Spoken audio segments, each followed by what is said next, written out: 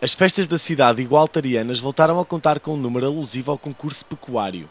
O evento contou com raças maronesa, barrosã, minhota e frísia e juntou no campo de São Mamede dezenas de produtores de gado que apresentaram os seus melhores animais no concurso.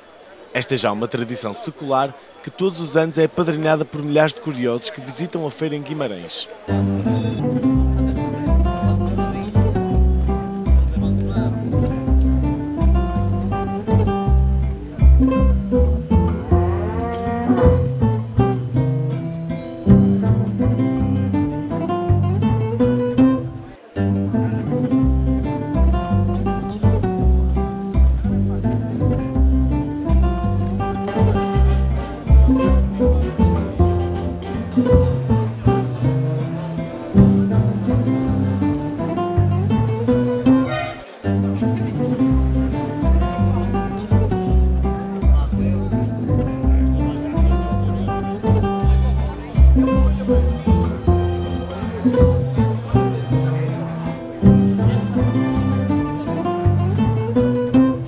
vamos trabalhar com uma secção da parte de baixo, que será a raça barrosada.